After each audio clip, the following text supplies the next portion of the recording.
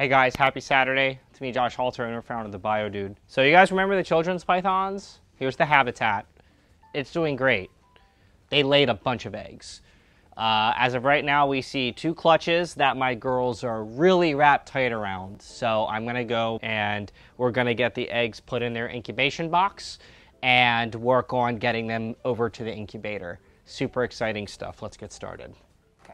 Okay. So my one girl, she's right over here. She is really wrapped around them right here. And I know that I try to disturb her. I know, baby. Come here. I know I'm not gonna hurt you. I'm not gonna hurt your eggs. I promise. I promise.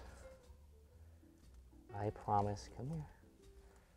Okay, looks like we have a nice clutch of four eggs here. Now, what's really important when when moving or dealing with, with snake eggs or just eggs in general, that you keep them in the exact position in which they were laid. You can't let them fall.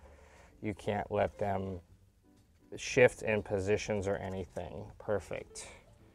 And then I have an incubation box. I can't believe she didn't bite me.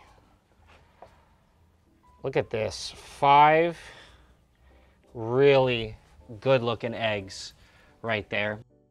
So first thing I'm gonna do really quick.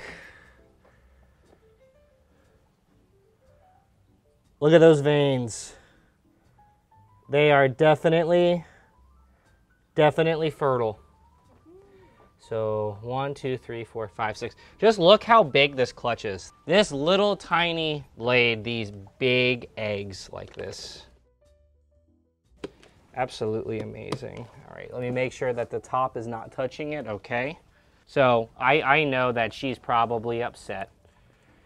I'm sorry, you went through a traumatic experience here. We're gonna feed you, we're gonna feed you really, really heavy. But here's mama you can see she lost she lost a little bit of girth just on the sides here but I'm laying such a big clutch for an 18 inch snake. It's extremely impressive. All right now we're gonna go to number two. Come here. Oh yeah there's definitely another clutch in here. All right I'm just gonna put you over here. I know come here Oh, it looks like oh, it's my it's my really light girl who laid that beautiful. And you, and you kind of notice the uh, pack the pack mentality here. They're all they're all helping incubate this clutch here together. And they dug a deep, deep hole. Look at this. This is a huge clutch. Huge.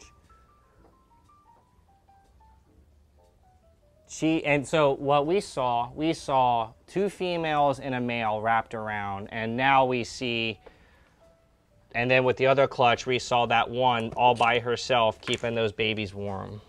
All right. Okay come here. Come here let's go. Come on.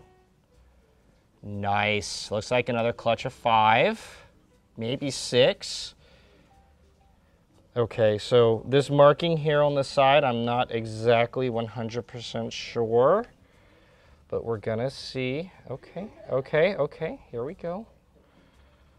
Come on, baby. It's okay, let go. Now, what makes this challenging is how these were laid. They're literally being kept up, kept up like this. So for me to be able to facilitate keeping them on the way that they were laid, I'm gonna have to, you don't wanna shift them and move them, but there's no way for me to put them in here um, without manipulating them. Okay.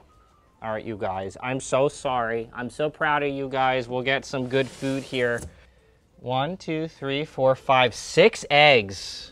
How about that? So we have a total of 11 children's python's eggs. And I'll be sure to keep you guys in the loop let, let's go get them in the incubator. So here I have one of the Mike's Wilbanks homeostatic incubators. This is one of the bigger models and I'm gonna put them right in here, right like this. I'm incubating them at 86 degrees. My expectation for these guys is 60 days. Now, I did not put a, a, a mark on the top with a pencil to ink to say this is the side. Um, I will be checking these probably, I'm not to lie, every day I'm here because I'm just ecstatic that I have these because I love Morelia's, I love Antaresia's. Um, but what I love more is the fact that this was a project that I wanted to do. And I'll keep you guys updated with it. Super exciting.